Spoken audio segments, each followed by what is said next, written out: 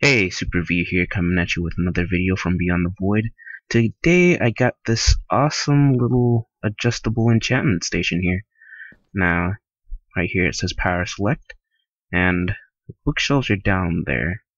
Probably told what's gonna happen, but I'll do it anyway. Every time this rotates, another two bookshelves come up, and you can even spam click it. Doesn't mess up the pistons or anything. Just goes to whatever you select so you can hold down right click and back to the start. So you can go from level 0 all the way to level 30 alright that's of that alright so what you're gonna be needing is 19 redstone dust 15 pistons sticky pistons 5 comparators 1 enchanting table the blocks will vary, but if you're going to do it like how I'm going to do it right now, you're only going to need 3 blocks. And 15 bookshelves, that's pretty important. You're also going to need one item frame and one item. Doesn't really matter what kind, but anything that, you know, has a point would uh, be best. Alright, so you're going to need a 7 by 7 space, 2 blocks above and 2 blocks below. Alright, once you got that, you're going to want to come to the middle and just place down your enchanting table because that's not going to move. Okay. Then you're going to want to come back here, one block away, put that there, comparator, then put a block on the back, item frame, and item. Okay. Then you want to come back here, put a block up like that. Then you want um, dust right here.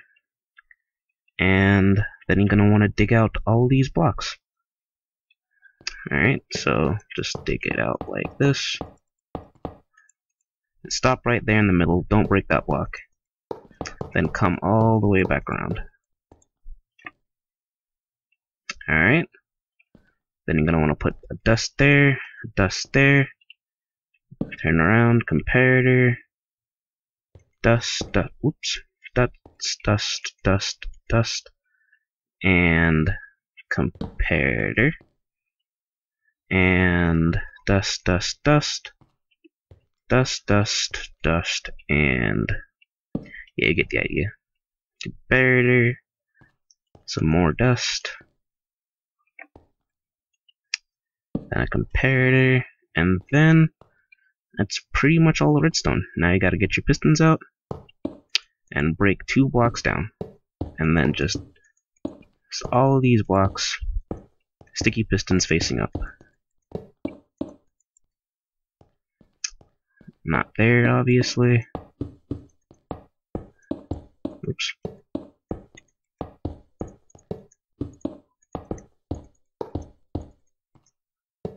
And oops.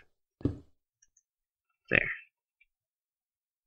Okay and you're almost done. Just gotta put in your bookshelves.